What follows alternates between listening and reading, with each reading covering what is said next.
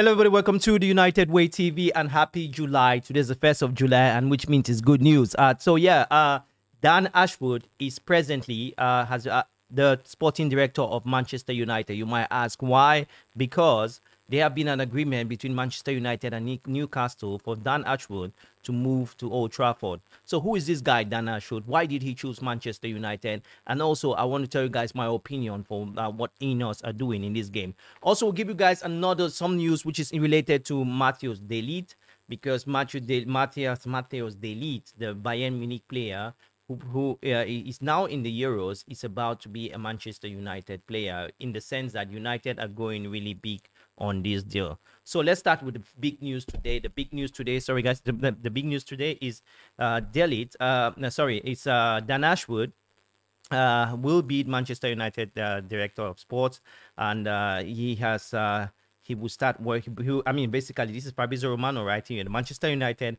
are set to sign all documents for Dan Ashworth to be announced as new sporting director uh, uh yeah, and um, that the compensation package has been agreed with Newcastle as from David Ornstein. Actually, David Ornstein uh, announced this like 10 hours ago. A bit late. He has been very, um, very, I've been very busy today. Uh, David Ornstein uh, just said, I mean, came out and, and confirmed this news uh, some 10 years ago. He break the news basically. So who's Dan, uh, Dan Ashworth? Dan Ashworth has always, he has worked for the FA. Dan Ashworth is someone who play, who also has worked uh, with, um, uh, Brighton. He was actually bought from Brighton to uh, Newcastle. Dan Ashworth is well known by the FA, the Football Federation in the UK, as someone for his uh, disciplinary, uh, disciplinary know-how, and also he is a very good. Uh, he has one respect with those in the in the business in general. So what does he brings to Manchester United? I think Dan Ashworth coming to Manchester United will give us a very good, uh, not only uh, in terms of recruitment, but the way we are going to do our scouting. I think and I believe that now the way United, uh, Manchester United will be going forward, it will be with the youth. I am very convinced that yes, I know previously we had uh, um, a strategy of buying young players, but I think Dan Ashworth will be the guy who basically will be making those decisions on who comes in and out. That is what it is. So the Ineos announced uh, one of the, the, the when the, the big deals that Ineos announced. Uh, uh, no, Sir Jim Ratcliffe Ineos announced uh, this year. That was, I think, in, in February, if I'm not mistaken, where Omar Berrada was confirmed to be the CEO of Manchester United. He came to, from uh, a, um, Manchester City. Nobody knew that was going to happen, honestly, but it did happen. We know that um, um, we know, we know that uh, Wilcox, right, is the, is also in the team of Manchester United, and uh, we are really working on trying to be, bring in one of the best in all positions. So, Dan Ashworth, I think it's uh it's not the it's not a bad uh, signing. United since the last uh, decade, decade, right? United since Sir Alex, Fair, since Sir Alex Ferguson, sorry, uh, actually uh, left uh, Manchester United. We have never had a structure. A structure is something that most of the Manchester United players, uh, sorry, fans and also players, I would say, have complained about with the club. Previous players, we have had people, even coaches, have come up to talk about uh, structure. Jose Mourinho could really complained about that. He never knew nobody. I mean, there was nobody above him for him to actually uh, uh to express himself whenever he is uh, he has issues with the club. It was the club was badly run, Manchester United. You know, as Ineos came and bought um, the 15 uh, percent of the club. Um, uh, Ineos bought uh, 25%, sorry, of the club, which is uh, is 27 actually. Some are even saying 30% of the club. They the, one of the big deal was they were going to take part. They were going to be in charge of the football issues in regards to Manchester United. Why the Glazers family are, are out there with the marketing uh, uh, stuff in the club.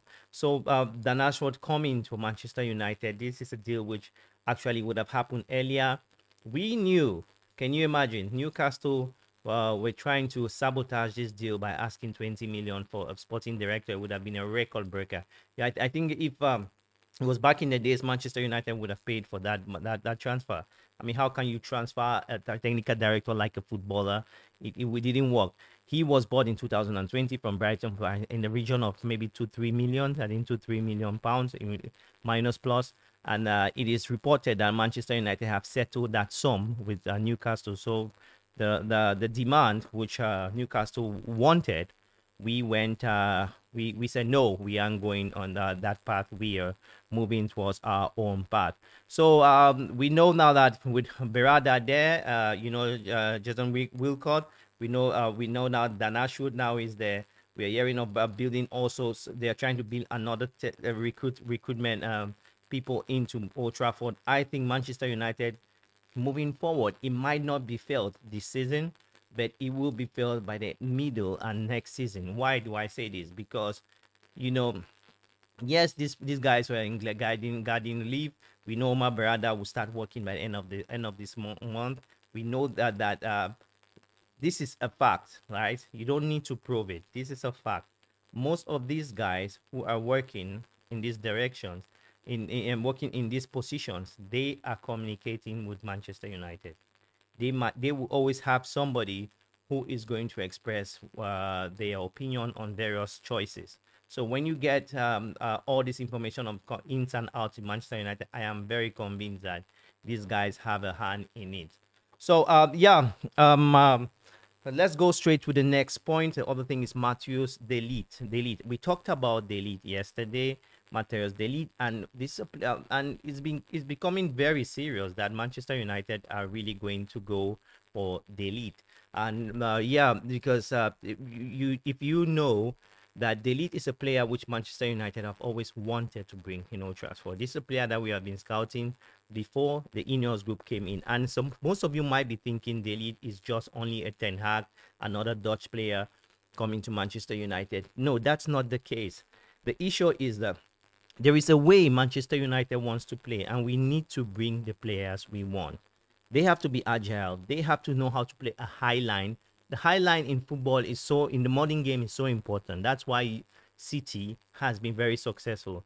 The high line, I can say 60% of Premier League teams are trying to to meet that demand of playing a high line, while the rest 40 are really uh, are, are, mostly playing on a counter-attacking, which is an old school way of uh, approach in football games.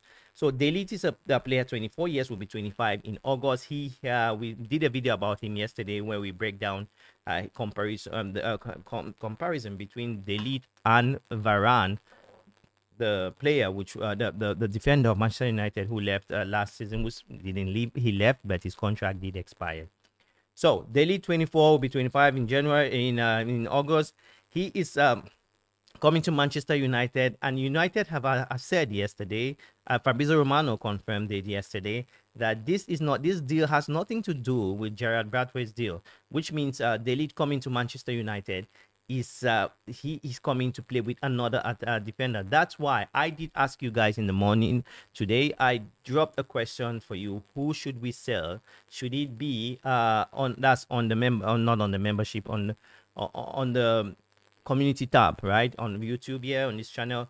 I asked you guys, who should we sell? Should we sell Harry Maguire or um, Lindelof? And uh, so far, I, I, haven't looked at it. I think I can look at it now, but anyway, it's not important for now.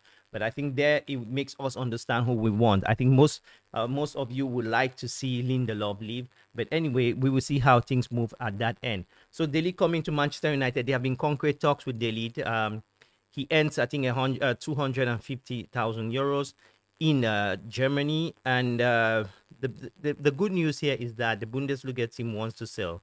And uh, will be really open to play for, to match for Manchester United. For some reason, they are not using him in the Euros now. I don't know. Maybe injury, maybe system, maybe tactics. I don't know. de Ligt is a player that has to be playing.